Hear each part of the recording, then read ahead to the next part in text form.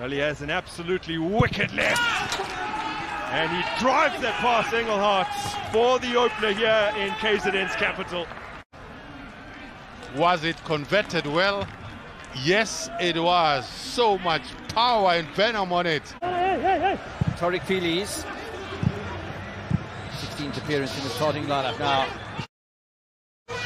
Craig Martin looking for Tashreeq Morris. Space for Mayo!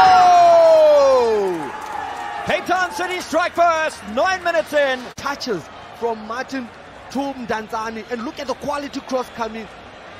Mayo said thank you very much. In search of the speedy Martin. Lovely touch. Now Mayo drills it over the top. That's a bullet. That's a great save. He got it done. It's a big deflection to put it over the bar.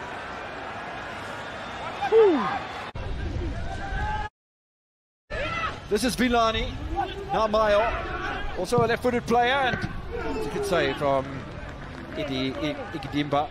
Rocky, that's all they have to do, Richards Bay. The movement they just had right there. Mayo, Vilani holding on to the ball, setting up Mayo again. Now Mayo. The deflection works out perfectly. Mayo with the left foot. Oh, there's a cracker for you. Two goals in three games. Mayo, he loves playing here in Durban. What a beautiful goal from Mayo, being an impact player coming from the bench. It is Mayo. Oh, oh my goodness, he's struck the woodwork.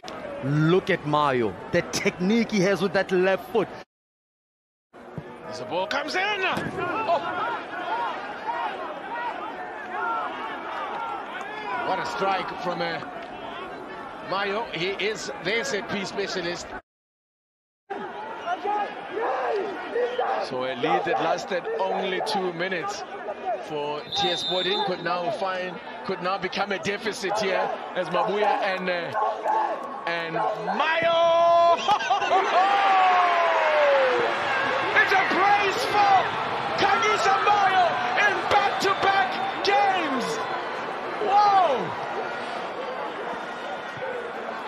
What a story!